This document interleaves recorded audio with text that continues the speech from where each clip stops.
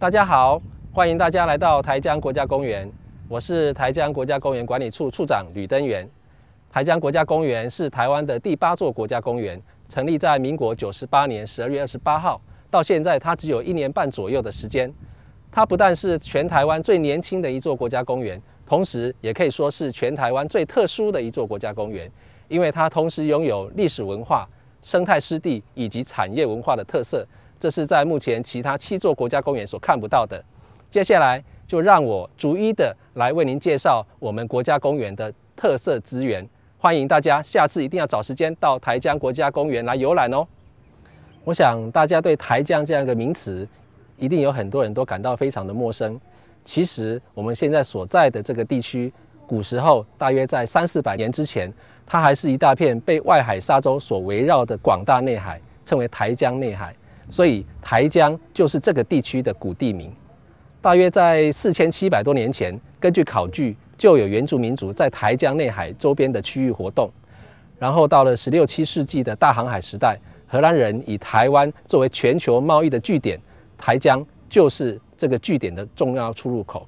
然后到了一六六二年，郑成功建立了第一个汉人政权之后，台南变成台湾的历史首都，长达三百多年之久。也就是以台江这个地区来作为它最早开垦发展的一个历史场域，所以国家公园以台江为名。我们除了是要来纪念台江内海的这一段发展历史之外，国家公园更有这个责任跟义务去保存、去发掘、研究跟推广这一段历史，让更多的台湾人知道台江内海的。深厚的历史文化，其实跟我们每一个人的祖先，跟我们到现在的生活都息息相关。这也就是国家公园之所以要以台江为名最重要的一个意义所在。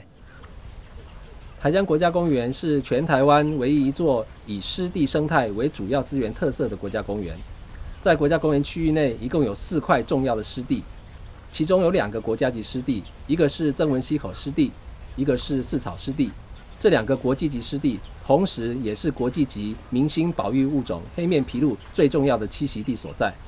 另外有两个国家级湿地，一个是七股盐田湿地，以及盐水溪口湿地。湿地是地球上最具生产力的生态系，它除了提供人类最重要的食物来源之外，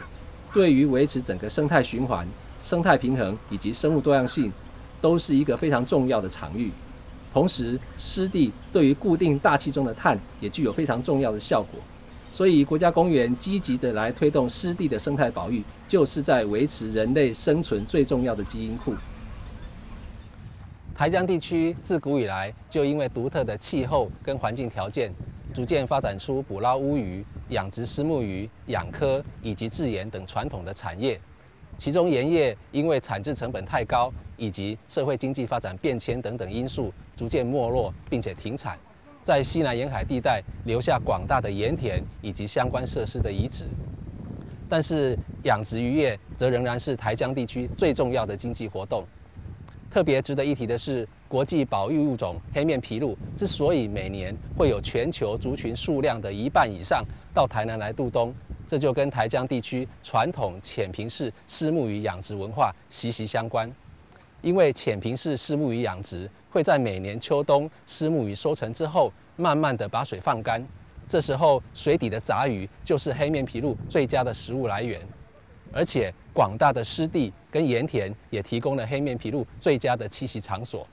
所以台江国家公园管理处也会积极的来推广浅平式丝木鱼养殖文化。大家多多的来消费这一类鱼温所生产的丝木鱼，就是在协助维护黑面琵鹭的生态。